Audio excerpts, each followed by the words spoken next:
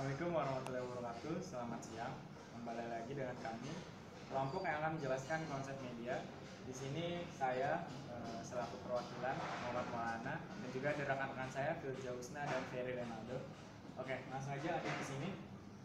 Pertama, pengertian media. Media internet yaitu jaringan komunikasi global yang terbuka di mana semua jutaan orang yang ada di Indonesia maupun di luar negeri bisa terhubung satu sama lain. Dengan kata lain, ini merupakan tipe komunikasi seperti telepon, satelit, dan lain sebagainya. Nah, itu salah satu pengertian dari media internet. Lanjut, ada manfaat media internet. Pertama, bagi guru. Bagi guru yang pertama, ide atau hasil karya dapat langsung dipublikasikan. Dua, dapat mengumpulkan bahan ajar dari mana saja dengan terhubungnya media-media internet dari seluruh penjuru dunia. Begitu juga dapat digunakan di mana saja. Bisa kita bawa menggunakan laptop atau bisa netbook atau mungkin dari handphone Anda sendiri. Keempat, mempermudah mencari informasi, pasti menggunakan search engine yang ada, Google, Yahoo, dan sebagainya. Kelima, meningkatkan pengetahuan. Ya, pasti. Dengan terhubungnya satu sama lain, kita bisa mencari informasi secara cepat.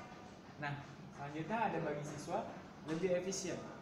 Kedua, siswa menjadi lebih mandiri dengan adanya internet ini. Dapat digunakan di mana saja dan yang pasti mempermudah mencari informasi.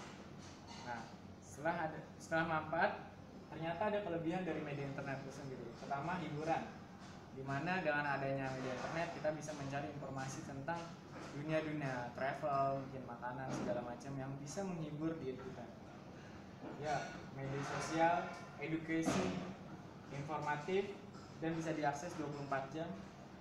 Kecepatan, kenyamanan dan kemudahan akses serta internet interaktivitas dan fleksibilitas mengefisienkan kita dalam hal waktu dan tempat serta sarana komunikasi yang lebih murah.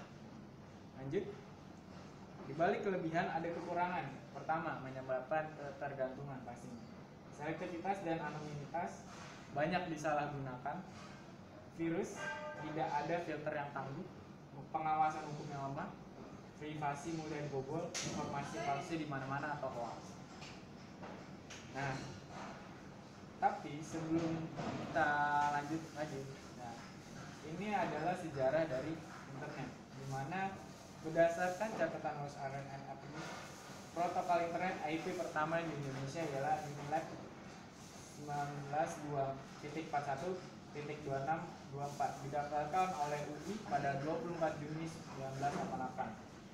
RMS Ibrahim Sudono, Adi Sumarta, dan kawan-kawan merupakan beberapa nama legendaris di awal pembangunan internet Indonesia pada tahun 92 hingga 94. Di sekitar 94 mulailah beroper- beroperasi Indonet yang dipimpin oleh Sanjaya.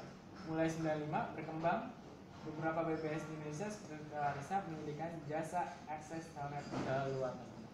Oke, demikianlah dari kelompok kami tentang konsep media internet. Terima kasih. Wassalamualaikum warahmatullahi wabarakatuh. Waalaikumsalam warahmatullahi wabarakatuh.